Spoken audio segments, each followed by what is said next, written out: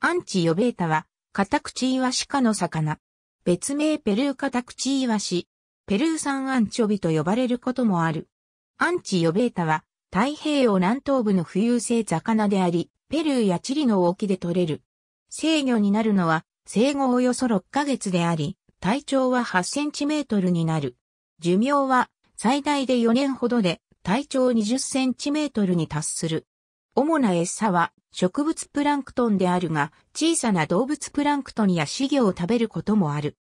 1960年代後期には数多くいたが、1972年のエルニーニョで大いに減少した。比較的冷たいペルー海流に暖かい海流が乗り上げることにより、サーモクラインの位置が深くなり、植物プランクトンの量が減ったためだった。そのため、漁獲量も減った。1980年代中頃には、1960年代並みに生息数が復活した。ペルーで取れるアンチョベータのほとんどは非食用の魚粉にされる。ペルー産の魚粉は世界でも高品質であるとされる。アンチヨベータも講義にはアンチョビの一種であるが、米国で売られるアンチョビの缶詰の多くはモロッコ産であり、その材料はヨーロッパカタクチイワシである。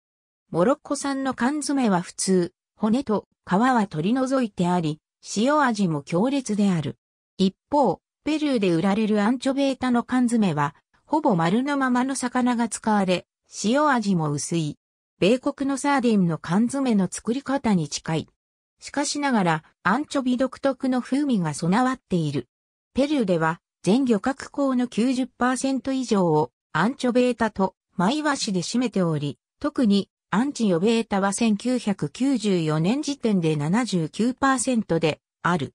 そのほとんどが非食料用途の魚粉に加工されている。ペルーの主要輸出品は鉱物とアンチョベータであるため、エルニーニュなどの気象変動による漁業不振がペルー経済に与える影響は大きい。ペルー政府は2008年からアンチョベータ保護のための禁漁政策をとっている。一方、ペルーの漁獲港は世界でも有数であり、1994年時点で世界第2位である。この多くが輸出に回されており、1993年のペルーの水産物輸出量は数量では世界第1位、金額でも世界19位であった。このため、ペルー産のアンチョベータが世界経済に与える影響も大きく、1970年代のエルニーニョによる漁獲量減少の際には、世界的なタンパク質供給量に影響を与えるほどだった。ありがとうございます。